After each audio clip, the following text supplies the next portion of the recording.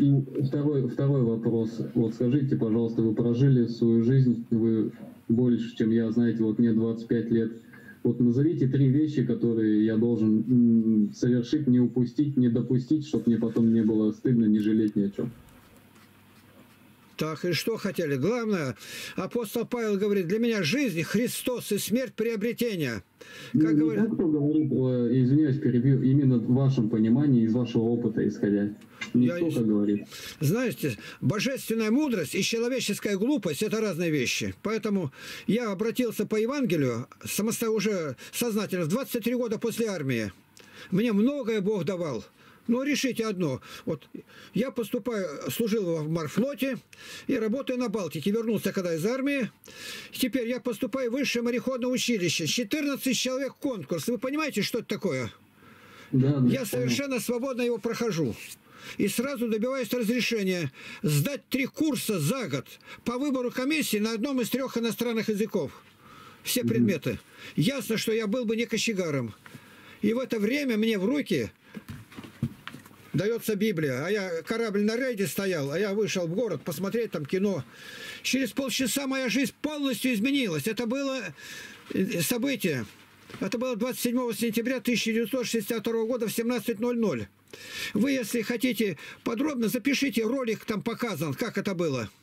Ролик называется «52 года в пути» Игнатий Лапкин. И вы этот ролик, когда увидите, вы будете плакать. Первое, первое – это религия. Дальше, второй момент. Вот второе, я не о религии говорю, я о Христе говорю. Религия это не спасает, Христос спасает.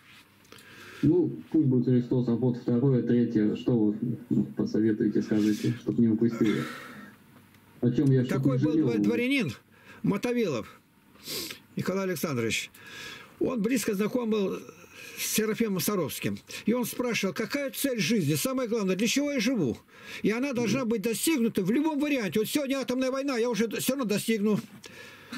У меня впереди еще 20 лет жизни, я все равно достигну. Корабль наш тонет, я должен достигнуть. Какая цель? Ему все, все отвечали, отвечали правильно. Спасти душу, а не тело только.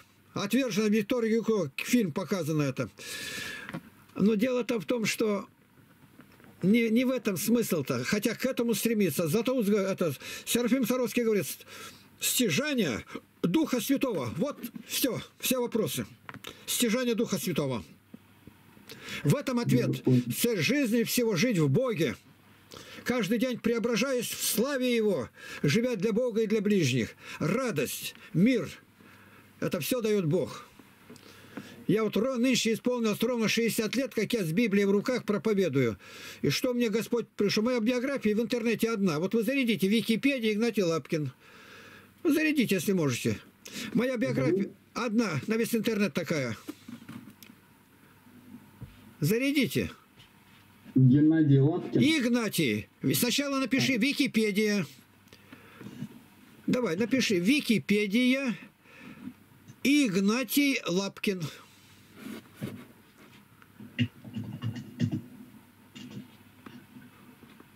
Угу. Так. Игнатий Лапкин. Ну, первая строчка родился, а потом говорится, кто я. Считайте вслух, кто я. Почему меня занесли в Википедию? Вы 1939 года, правильно? Да, да. Дальше считайте по порядку. Сейчас, сейчас, сейчас. Православный русский миссионер, проповедник, исповедник. Дальше церковный писатель, поэт, мотивационный оратор и блогер. И дальше? Чтец православный. Вы пропустили слово «советский диссидент». А, советский диссидент. Это означает, советская власть меня гнобила по тюрьмам. 26 лет мучили меня везде. Опыты надо мной делали. Я живой остался, а теперь я реабилитирован как жертва политической репрессии. Здесь в Википедии в конце там сфотографированы мои документы, 44 документа. И поэтому там говорится мое отношение к Украине, ко всему. Все абсолютно. Ну, представьте, у меня три канала, только на одном канале 23 тысячи роликов своих. Больше 6 тысяч нигде нету ни у кого. Вы, вы, вы стрим не ведете? Что сказать? Ну, стрим, знаете, стрим. Ну, это у нас бывает стрим сразу, когда я в храме говорю проповедь, в это время записывает и сразу идет в интернет. Понял. Вот так. А вы ГУЛАГ, ГУЛАГ не застали? Я застал как раз. Я реабилитирован только в 92 году. Это Сыктывкар? Я первый в стране опубликовал архипелаг ГУЛАГ, насчитал на пленку его, кассеты, и распространил по всей стране. Архипелаг ГУЛАГ, это вину поставлено. В стихотворение там Ленина помянул, как бандита-разбойника. Это все вы найдете в Википедии. А вот если теперь заряете скайп, скайп Игнатий Лапкин, скайп 5 минут установить, и сразу через 3 минуты звонок у меня будет, а через 3 минуты я все ресурсы отдаю даром. И мы уже друг я друга не, не потеряем. Я обязательно, обязательно прочитаю, ознакомлюсь. По скайпу, за, за, за, сначала по скайпу зайдите, чтобы не потерять друг друга. Я вам все скидываю даром. И там можно в скайпе ежедневно встречаться. У меня там только готовые вопросы, которые я студентам преподаваю в университетах. Я в пяти университетах вел одновременно занятия, 13 школ. И все это бесплатно. Вот как. Там, вот сейчас вы будете смотреть дальше Википедию, там государственные фильмы, она снятая. А моя биография, он занял первое место в России.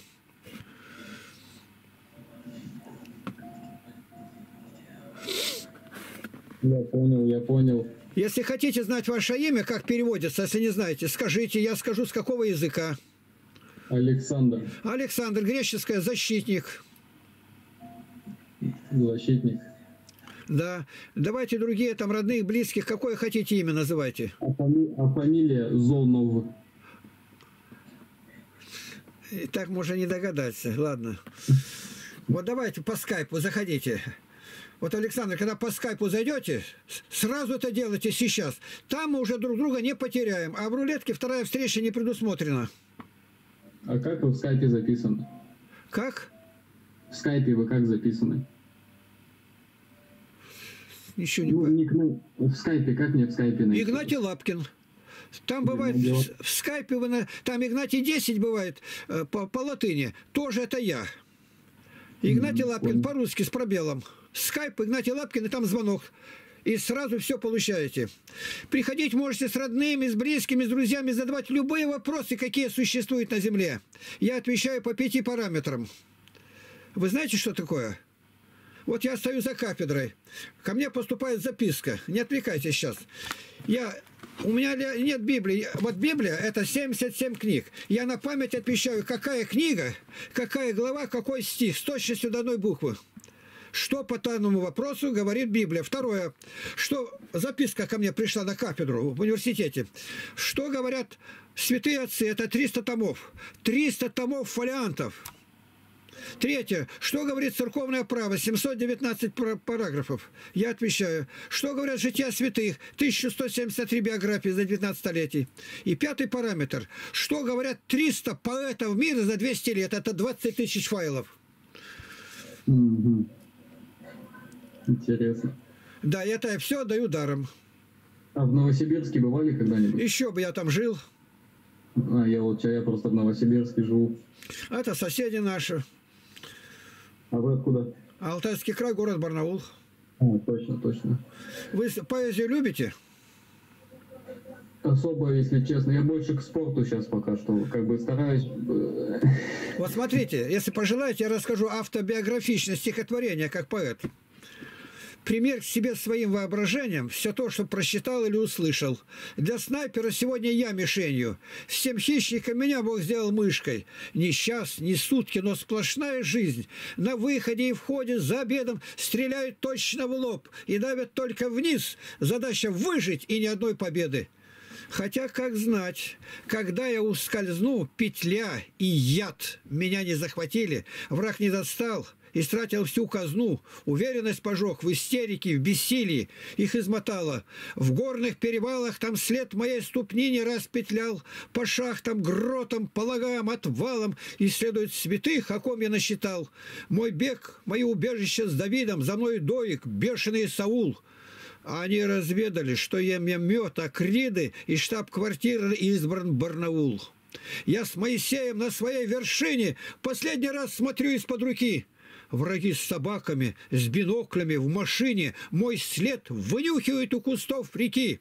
Моя погоня гнались до упаду. Я отошел, не достигаем вам. Прощай, земля, азарт, закон ограда. Мой труд, следы, считайте по слогам. Я успевал на каждом повороте засеять поле, застолбить межу. Со златоустом путь житийный пройден. С той стороны земли на все гляжу. Ну, только могу похлопать. А вот на море. Я моряк. Рыбацкая шхуна с волнами боролась, стремительно крен возрастал. Смятение росло, но раздался вдруг голос и всех на молитву призвал. Волна через корпус не раз пробегала, был лопасти виден плавник. Как туша убитого кем-то финвала, корабль под ударами сник. Остались минуты. А дальше развязка, объятия холодной волны. Над пропастью мглы с ледяною повязкой, о чем бы подумали мы? Наверное, лица родных и знакомых мелькнут в феерическом сне, на жизненной грани, на жутком изломе, на вечно девятой волне. Иные клянут капитана, стармеха, проклятие всем и всему. Окончена жизненная чаша утеха и брошена разом в волну. Когда мой корабль опрокинет пучина, а рот поперхнется волной, дай Боже, чтоб к небу своей кончиной других я увлек за собой. Просто браво. Это все поется. Из моих, у меня четыре тома стихотворений, каждый том 800 страниц. Таких стихотворений не бывает. Каждое стихотворение 9 куплетов, 36 строчек и эпиграф из Библии. Примерно 85 поются в интернете, положено на а музыку. А можно, можно еще вопрос задать? Вот да. как вы относитесь, ну, самый актуальный вопрос, вот, что сейчас в мире происходит к спецоперации? Еще раз говорю, что у меня это отвечено уже подробно. Когда зайдете по скайпу, я вам скину. Не, вы мне вкратце просто... Книга про Иеремия 48.10. В этом весь ответ. Это, это никто не дает. Это я единственный весь интернет, который так говорю. Я не за, не против, но виновны те и другие. Почему? Проклят, ну, кто, проклят, кто дело Господне делает небрежно. И проклят, кто меч Господень удержит от крови. Я тут подробно рассказываю по, по параграфам. Я понял. А здесь как много недоброжелателей попадается в чат Много. У меня только за последние два с половиной года где-то 23 тысячи человек пришлось занести в черный список. Тысячи. Против меня где-то 20, 260 роликов в интернете. Мои ролики берут, дерут, там голову отрезают, там что попало делают. А мне некогда глупостями заниматься. Почему? Ну, потому что я никогда ни перед кем не пятился. Я обличение всем патриархам посылал, всем генеральным секретарям в ООН писал. И поэтому ясно дело, что я не просто говорю, а сознанием, полным сознанием дела. Понял. Я реабилитирован как жертва политической репрессии только 4 января 1992 году. Блин, я с Барнаула приехал две недели назад, я там жил. Вот если бы я сейчас был в Барнауле, я бы с удовольствием даже с вами встретился. Да вот встретились, это еще лучше даже здесь. В тепле, в тепле сидим. Так вот давайте сейчас скайп. За пять минут его установите. Скайп очень просто. Там не надо регистрации, ничего. И Игнатий Лапкин по-русски. И сразу звонок. Нет. У меня просто интер... этот, на компе интернета нету, а с телефона надо устанавливать скайп. Не знаю. У нас отовсюду устанавливают. У меня обслуживают, у меня обслуживают, найду, помогают. Примерно меня обслуживают, помогают мне четыре программиста. Я этим не занимаюсь. Я понял. А у меня ресурсы громаднейшие просто. Дай бог. Ну, на одном только у меня канале посещаемость 81 миллион. А у меня три канала. Понятненько.